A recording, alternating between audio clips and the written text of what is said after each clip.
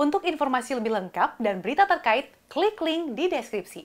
Jangan lupa untuk install aplikasi CNBC Indonesia di App Store dan Play Store. Jangan lupa untuk subscribe ya. Perdana Menteri Israel Benjamin Netanyahu menjalani sidang korupsi. Pemimpin Israel yang paling lama berkuasa itu akan menyampaikan pembelaannya atas dakwaan penyuapan, penipuan, dan pelanggaran kepercayaan. Sidang ini akan menjadi pertaruhan Netanyahu yang pada 23 Maret 2021 akan kembali mengikuti pemilihan umum keempat kalinya sebagai pemimpin Israel. Netanyahu dan istrinya didakwa atas pasal penyuapan dan pelanggaran kepercayaan. Pasangan itu diduga menerima hadiah senilai 700 shekel dari produser Hollywood dan warga Israel Arnon Milchan dan pengusaha asal Australia James Becker.